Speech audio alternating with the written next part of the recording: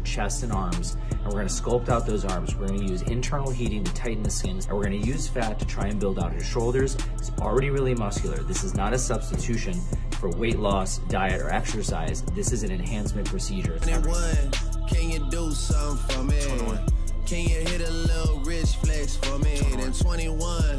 Can you do something for me? 21. Drop some bars to my pussy ex for me. Then 21. The first step I'm doing here is I'm irrigating the fat. I'm actually getting rid of all the excess fluid. He's harvested some fat, and obviously he's very lean, so he doesn't have that much. So we're only gonna have enough to do a little bit into his shoulders. We're really gonna cap out the shoulder and get a nice rounded look.